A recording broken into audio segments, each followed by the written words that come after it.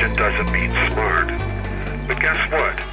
Sometimes being smart is knowing what you want and how to get it. If you truly believe Big Brother, if you truly fear Big Brother and what he might do, you might as well give up and submit.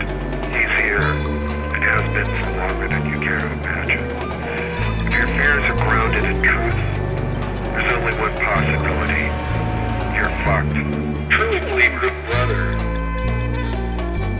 Truly believe Big Brother.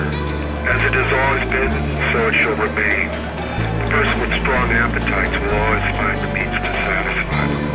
The person with strong desires will find whatever tactics or strategies required to fulfill them. And nothing will dissuade them or curtail their progress. In small circles or large, they will Believe Big Brother. Respect. Did you ever notice that the segment of society that demands our respect the most seem to merit it the least? After all, respect is earned, not handed out like welfare cheese. I sometimes suspect that people have forgotten the meanings of our age's most overused words. Truly believe Big Brother.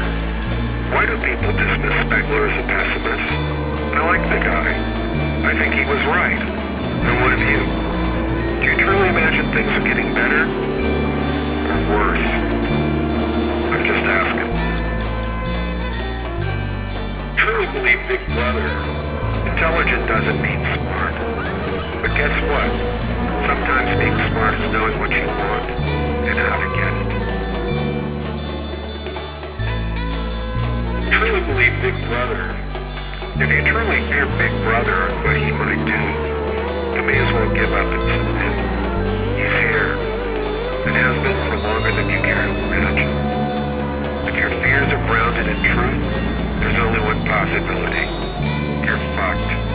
Truly believe Big Brother. Truly believe Big Brother.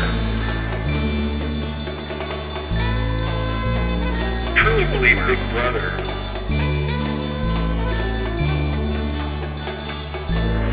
Believe Big Brother.